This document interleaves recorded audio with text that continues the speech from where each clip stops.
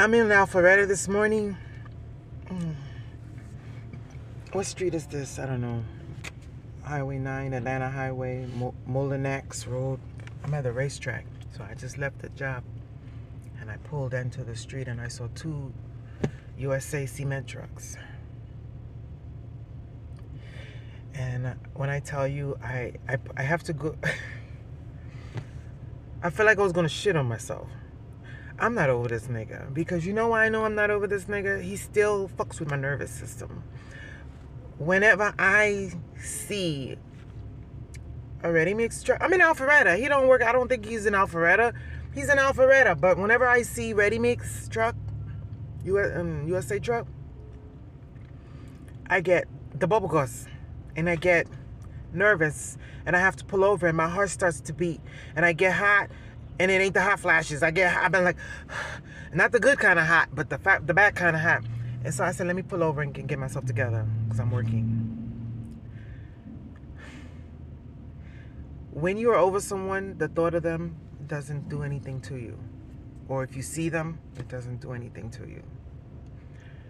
But when you. Hmm.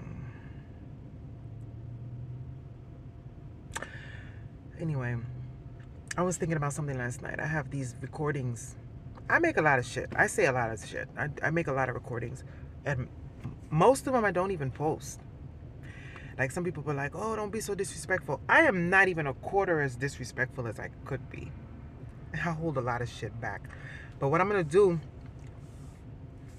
I'm to post the shit that I held back like three weeks. I think it was like three weeks ago. The last the last time I went going back and forth with that chick was like three weeks ago. And she was posting shit that was really hurting my feelings bad.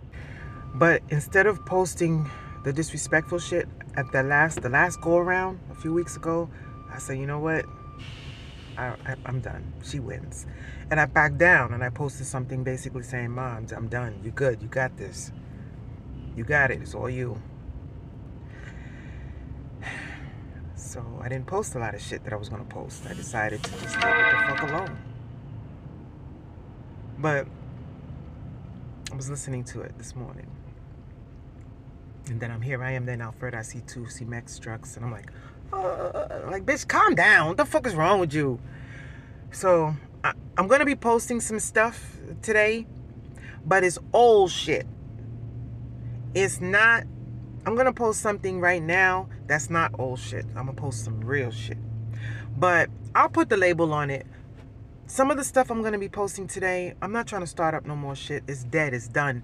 But I gotta post it because at the time sounded good. Um, so just a just a disclaimer some of the shit some of the stuff i'm posting today is not something that i just made. It's something i made three weeks ago but i chose not to post it. I chose to just bow my head down and say fuck it leave it. Done. Be done with it natasha because it ain't hurt nobody but yourself. So i'm gonna do that. I'm gonna post something right now that i made i don't know about a week ago or so. I was doing some self-reflection and i made this audio so i'm gonna post this right behind this. But yeah the other stuff that you're gonna see me post today it's not recent. I'm not trying to start no more shit. It's over, it's done. But the shit was just so perfectly fly. And I said stuff that I really, really meant at the time. So I'm going to go ahead and post it. And then it'll help me clear up some space on my phone. I want to be done with it in my heart. You know?